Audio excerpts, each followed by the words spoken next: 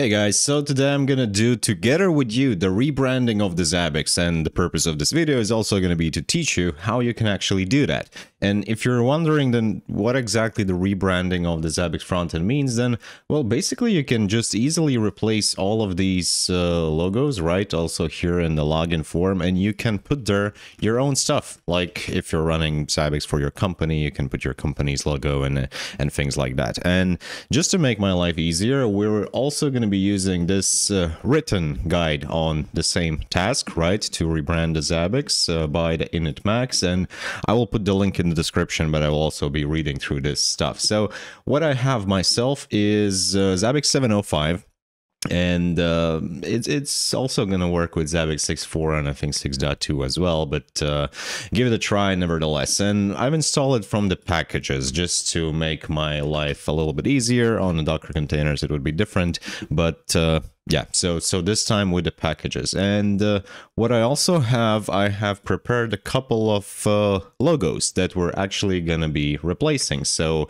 i have a compact sidebar png main logo and a sidebar logo png as well right? Those i prepared in advance. You need to create them yourself or you just uh, i don't know can download something to to make it work for you. So uh, basically the first thing that we need to do we need to create a directory structure in the file. So that's going to be the place where we will have all of those custom logos and also the configuration file, which will be required to define what and where we actually want to show. So I will just copy paste the commands. We are creating a directory uh, let me zoom this in a bit. Uh, creating a directory in user share Zabbix, which is the default uh, front-end directory of the Zabbix itself, uh, local slash conf. And also we need to create a directory for, um, yeah, I think the first one will be the config file for the rebranding, and the second one is where we actually going to store those uh, custom logos. So, um, Let's go back here. Then upgrading custom logos. Prepare logos with the following dimensions. And dimensions are fixed, like you're not really able to change those. So if you want to have something uh, looking meaningful, you need to comply with the requirements as they are. So for the main logo, it's 114 x 30 pixels. For sidebar, 91 x 24. And for compact sidebar logo, it's 24 and 24. And by compact, I think that's uh, this one, right? So basically just, just a small icon. There we go, the Z.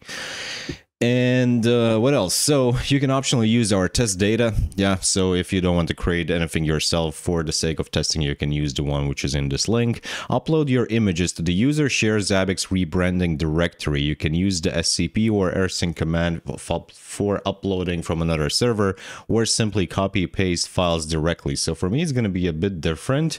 Um, user share Zabbix rebranding. So that's the location. So I will just go to the user share Zabbix uh, and rebranding. There we go. We're in this directory and I'm using the MobaXterm, which uh, should user share Zabbix uh, rebranding. There we go. Sorry for the beep. And then I will just drag and put all of those three files here and that should do the job. So ls and there we go. Now we have those uh, three logos files that I'm actually going to use.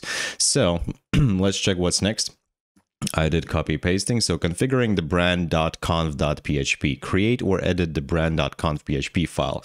And um, yeah, I will use the VI. I don't want to use the nano.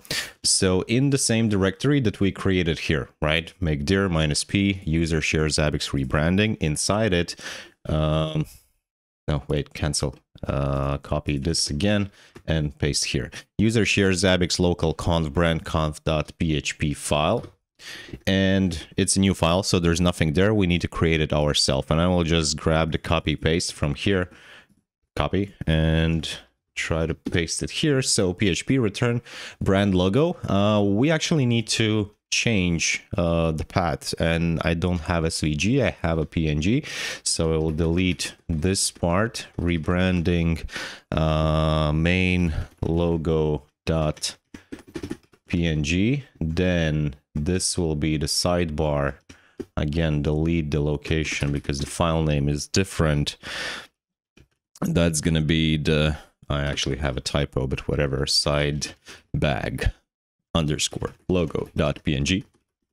And the last one, the compact is again delete this part. And it's called compact sidebar dot png. So that should do the trick. And then in the footer, that's the message which you will going to see in the footer in the login page. If I remember correctly, I will just write subscribe to YouTube and in help URL, um, let me actually, you know, I will paste something else. Uh, give me a second. Copy paste. Oops, wrong. Go back here. And paste. So yeah, you can you can follow and subscribe me also on the Patreon as well. There's the free tier, paid tier, so all of the ways how you can support all of these uh, videos. So right quit, we did that. Let's go back to the guide. Ensure that the file names match the settings in the brandconf.php. Well, that's basically what I did. And here's the explanation of all the parameters. The main logo displayed on a login screen that appears in the left menu, the logo for the left menu in compact mode, option to add a custom text in the footer, and the URL that opens when a help button is clicked. Interesting. So I actually changed the link for the help. And setting the permissions. Well, this is super important because right now, like I have all the files, uh, those are ready, but 100% uh, the permissions are completely off. And uh, if I will just uh, try to check it now, it's not going to work. So copy paste this. Okay. Uh, user www data invalid user. So let me actually check what we have. Uh, user share Zabbix. Uh, it's root. Interesting. Okay, then this might actually be fine. I will just run the these permissions to make sure that we have access to the files themselves. So to the config, uh, then to the sorry, the last one was to the actual logo files. Then this one is to the config.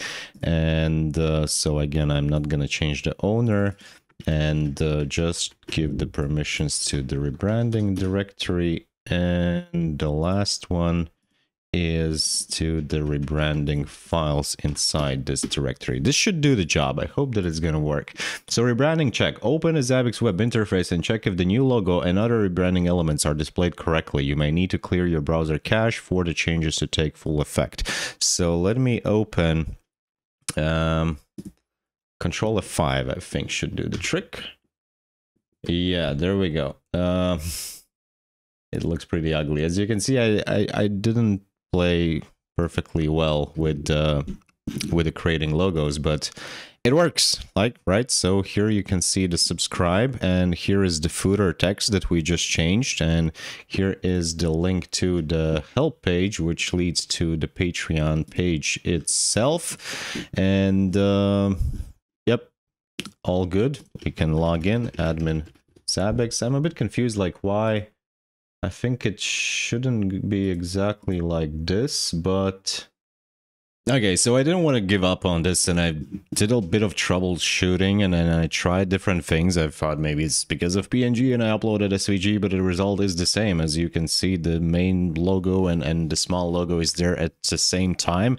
Uh, which apparently means that you should actually read the instructions before doing something because I didn't and turns out before uh, under these uh, images of the example there's additional tip so if the icon appears twice in a compact mode which is exactly what I am getting here then this is a known bug Here's the link that has been resolved in the versions from 7.2 alpha, so in the 7.2 and in the 7.06. But I am running, um, I deleted this, but it, I think it's 705. So you can still follow the guide. And if you're having this result, it's going to be fixed in the next minor version. So that's basically it. Thank you guys for watching. Hope you learned something new today.